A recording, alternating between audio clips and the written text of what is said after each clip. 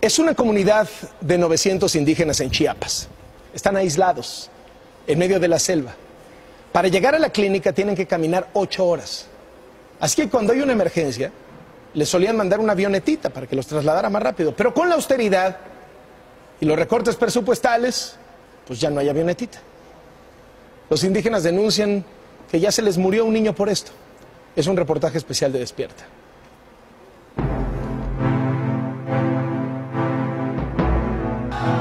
En Chiapas, indígenas celtales llevan seis meses sin medicinas, doctores, ni traslados de pacientes graves.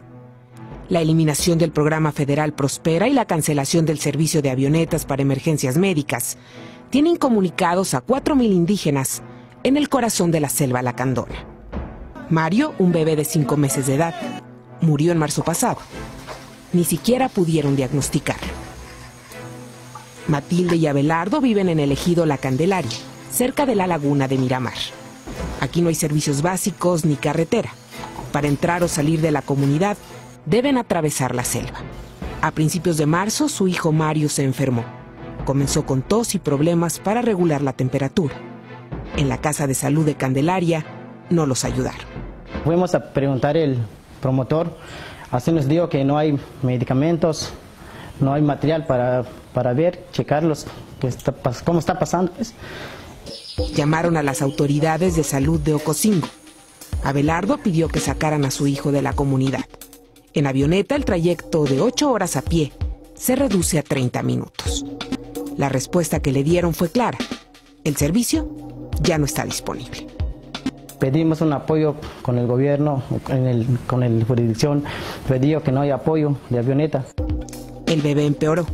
Revisé, chequé su temperatura, encontré a 35. Está muy frío, como las 11 de la noche. Y como no hay medicamentos, tiene ya respiración rápida. No hay medicamentos, regresó a su casa. Hicimos el lucha con el, con el este, plantas medicinales, pero no, no, se, no se pudo. Pues el día 3 por la mañana este, se falleció mi hijo.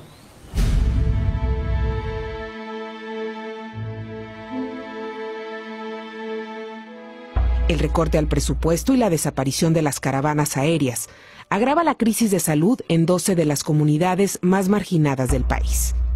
Este programa permitía trasladar pacientes graves en avionetas, llevar medicamentos y doctores que permanecían en la selva durante 20 días. Esto es consecuencia de la cancelación. 29 cajas de medicinas para 900 personas que viven en la Candelaria. 29 cajas, de las que sirven dos. No hay material de curación, ni instrumentos, ni doctores.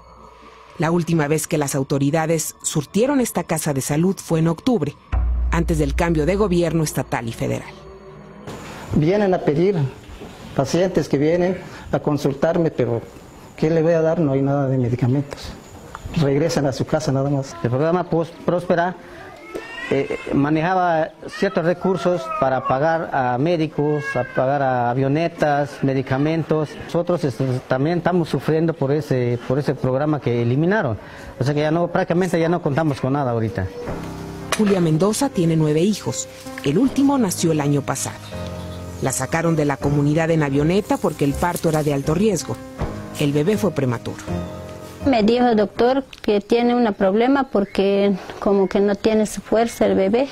El doctor le advirtió que debía atenderlo de manera permanente para descartar una enfermedad grave, pero ya no pudo llevarlo a la clínica y desde que nació, ningún médico lo ha revisado en la comunidad. Se termina por el apoyo, por eso quedó pendiente. El bebé como que no estaba bien mejor, como que estaba muy flojito. Sí, se camina, se come, pero como que está muy flojito porque perdió pues cita. En enero pasado, el director de la jurisdicción sanitaria de Ocosingo pidió al secretario de Salud Estatal, José Manuel Cruz Villegas, no suspender los recursos para las comunidades indígenas. Al menos tres ejidos ubicados en la reserva de Montes Azules se reunieron este fin de semana para alzar la voz. Lamentan que el gobierno federal haya terminado con el único programa de salud pensado para ellos. A mí me parece injusto. Nosotros no tenemos por qué pagar la corrupción porque aquí Pues aquí somos gente indígena y aquí nadie trabaja en instituciones de gobierno, aquí nadie es corrupto. Despierta buscó al secretario de Salud del Estado y al delegado del gobierno federal en Chiapas, Antonio Aguilar Castillejos, pero no concretaron la entrevista. En la realización Alexander de Villa, Gustavo Sánchez, camarógrafo, Ana Lucía Hernández, Noticieros Televisa.